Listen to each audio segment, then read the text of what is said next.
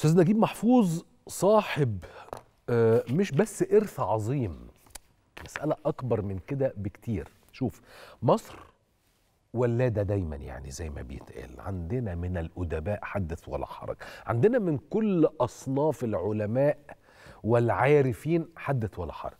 بس أستاذ نجيب الحقيقة حالة شديدة الاختلاف. خد بالك أستاذ نجيب خريج فلسفة. فلما كتب كتب بتفلسف وبالرغم إنه كتب الرواية بتفلسف إلا إنه خلاها في منتهى السلاسة ومنتهى السهولة واليسر. طبعا ده بيت الأستاذ نجيب على كورنيش العجوزة المنزل الشهير. يعني يمكن آه، الناس اللي زي حالتنا عارفين البيت دايما يعني. كنا بقى نروح نعدي عشان ننتظر يمكن نشوف الأستاذ نجيب معدي على الرصيف فعشان نشوفه من بعيد. مهم. عايز بس أرجعك للكادر قبل الأخير يمكن في الفيلر اللي إحنا كنا بن أستاذ نجيب كان بيلعب قانون أنتوا خدتوا بالكم يعني هوايته يلعب على القانون أستاذ نجيب محفوظ لازم لازم أنا أدعوكم مش بس انكم تقعدوا تقروا تراثه الأدبي أنا أقدر أسميه تراثه الفكري. ودي حاجة أبعد بكتير وأقوى وأعمق. لا هو أنت لازم تقعد تقرأ تراثه الفكري كويس جدا. وأنا أشجعك ما تيجوا نبدأ الأسبوع ده بزقاق المدق ليه زقاق المدق علشان زقاق المدق هي حالة التحليل والتشريح والتفصيص والتفصيل لتداعيات الحرب العالمية الثانية على المجتمع المصري. خدتوا بالكم مين قاعد جنب الأستاذ نجيب؟ دكتور صلاح فضل قاعد أهو. الله يرحمه. سبحان الله العظيم. امبارح كنا نتكلم على وفاة الرجل العظيم الدكتور صلاح فضل والنهاردة بنتكلم على ذكرى الأستاذ نجيب محفوظ. خليني آخد معايا على التليفون دكتور يسري عبد الله أستاذ النقد الأدبي بجامعة حلوان. أهلا بيك يا دكتور يسري. أهلا يا أستاذ يوسف أهلا بحضرتك. الحال يا دكتور؟ كله تمام؟ الله يخليك حبيبي. دكتور يسري أنا كنت وإحنا بنتكلم عن عن الأستاذ نجيب محفوظ قلت لازم وإحنا بنقرأ تراث فكري للأستاذ نجيب ما هوش مجرد تراث أدبي نحط في بالنا أنه خريج الفلسفة. فكتب نعم. بتفلسف وأعطاه لنا بمنتهى السلاسة والسهولة واليسر فما كانتش اللغة معقدة. نعم. في الحقيقة إن استعادة ذكرى ميلاد نجيب محفوظ هي استعادة لمجموعة هائلة من القيم. قيم إنسانية وقيم فنية وجمالية قيم مهمة ومؤثرة في مسيرة الإبداع المصري والعربي بل في الحقيقة في مسيرة الإبداع العالمي. نجيب محفوظ آه، آه، خريج الفلسفة كما أشرت خريج كلية الآداب قسم الفلسفة. آه، بما يعني اتساع رؤية العالم عند الأستاذ نجيب كاتب الفذ اتساع رؤية العالم ووجود مجموعة من الدلالات الفكرية العميقة والمستويات التأويلية المختلفة اللي بيحملها نصه القادر على الوصول لمجموعات هائلة من المتلقين والقراء من القارئ العام إلى القارئ النموذجي.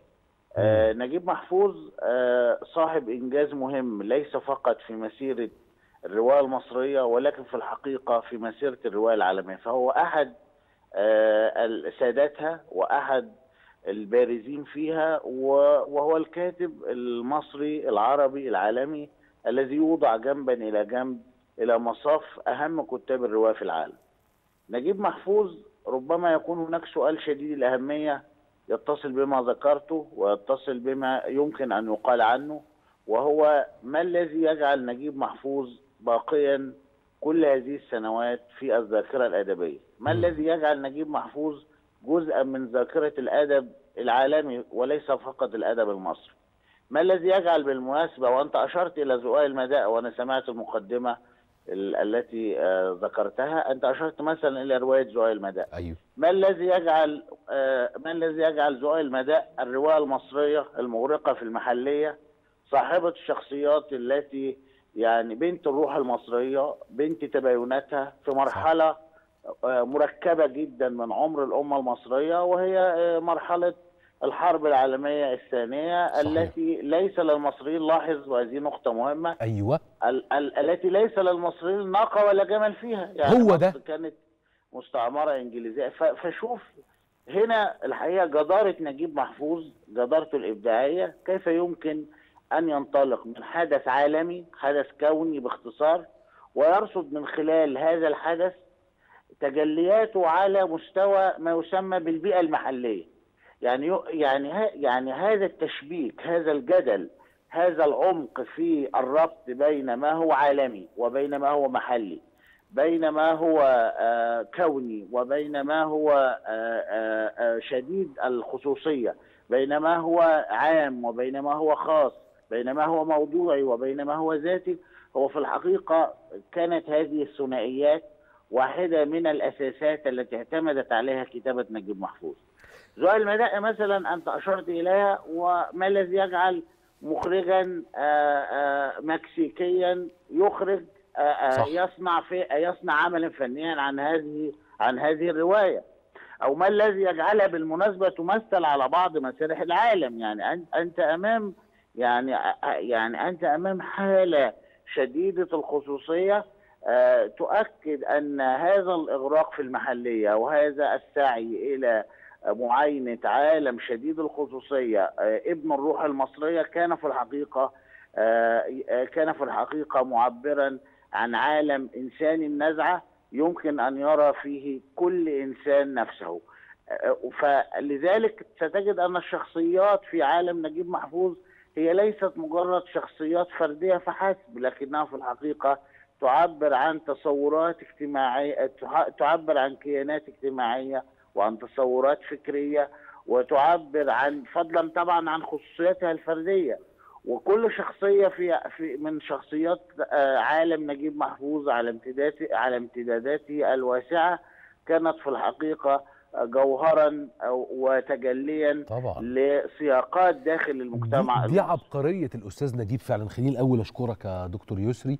وأتمنى بجد والله يعني آه، إن إحنا نلتقي في البرنامج. يعني زي ما كنت بتكلم امبارح مع أستاذ سيد محمود أما أن الأوان لبرامج التوك شو أن تناقش الفكر والفلسفة وتناقش الآداب بمنظور نقدي أتمنى دكتور يسري تبقى موجود معانا في حلقة من الحلقات. ويبقى ده من ضمن السوابق التي لم تحدث في ال talk shows قبل كده أو برامج الحديث والكلام العام. فلا تهتم فقط بالقضايا الساخنة وإنما تهتم بأنه الجمهور العام مخه مليان وفهمان. أشكرك جدا دكتور يسري عبد الله أستاذ النقد الأدبي بجامعة حلوان.